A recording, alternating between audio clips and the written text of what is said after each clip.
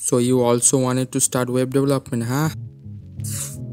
Don't worry, here I am. Hey guys, jokes apart, in this video I'm going to share you a perfect beginner friendly roadmap for web development in 2024. So without wasting any time, let's begin.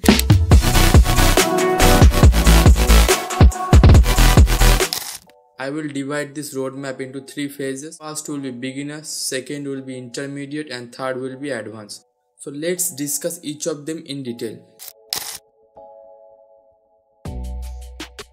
So in this phase we are going to set up our environment and learn all the basic things at first we will set up our VS Code for web development. So if you haven't seen my video on VS Code, I will share the link on the description so you can follow it. So after completing the VS Code setup, we will start our web development journey. At first we will learn HTML and CSS we will learn all the basic tags needed in HTML and all the basic properties needed in CSS. Start building projects and learn by doing, uh, not that theory based learning. You know what I'm saying. After learning HTML and CSS, build two or three websites. Then we will jump into JavaScript. If JavaScript is not your first programming language, then you have to learn few basic things like how syntax work and then jump into the advanced topic of JavaScript like promises and all that. I would suggest you to give the most of your time learning JavaScript because everything you will do will be written in javascript anyways. So if your basics are clear it will help you in the long run. After learning javascript you have to make two or three projects. It will be our first phase which is beginner phase.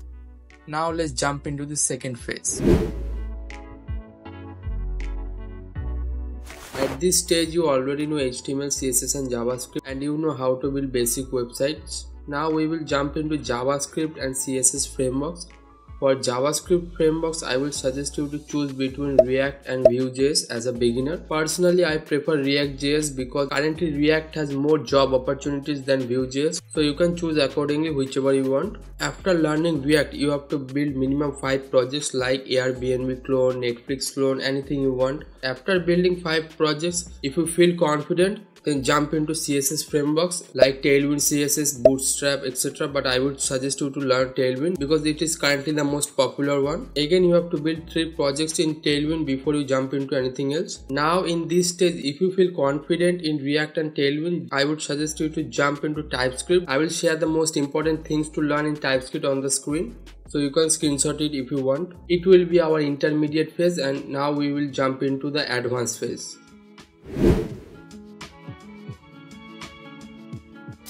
In this phase, we are going to learn more advanced topic like server-side rendering, static-side generation, how SEO works, component libraries and more. So at first we will learn Next.js for React and Nuxt for Vue.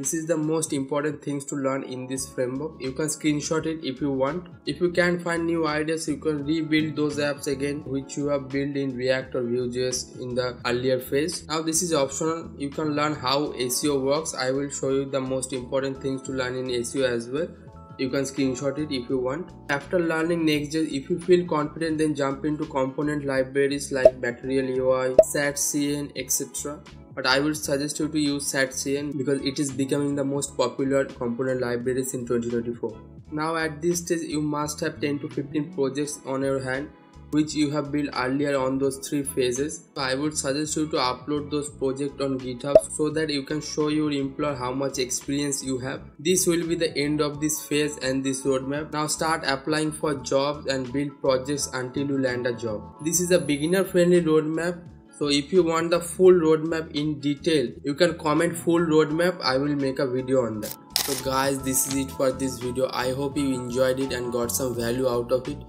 if you did, please hit that like button and leave a comment below. And if you are new here, please subscribe and join this journey of learning. And I will see you on the next one.